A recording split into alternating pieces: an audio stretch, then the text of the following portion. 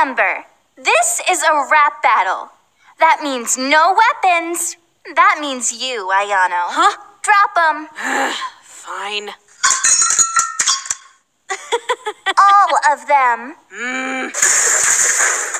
All right. Ahem. Epic rap battles of Akademi.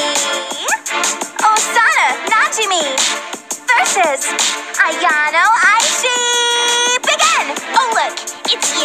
freak of the school. The one who thinks that stalking my senpai is cool. Listen up, I only have one thing to say. Senpai would choose me over you any day. I mean, come on, you sneak around when you think no one sees you? Who let you in on a secret? We all know that you do. Like, oh Yanchan, why can't you see? You'll never get senpai. He belongs to me.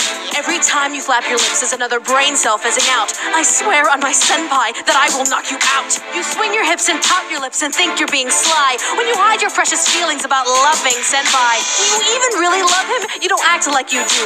You whine all the time and place the spotlight on you. You always keep me waiting. Yeah, that will get his love. I'd give him more affection than he could ever dream of. Ha! You squirm around when he's five feet away.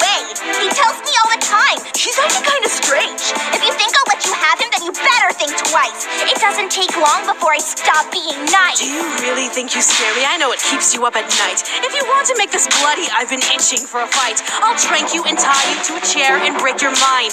Or maybe I'll just stab you. Yeah, that'd be fine. You don't scare me. I can though. what do you know? I know that you should probably keep an eye on your bento. What the? It's poison. That bento was for Senpai. I'll let you give him gifts when fat pigs fly.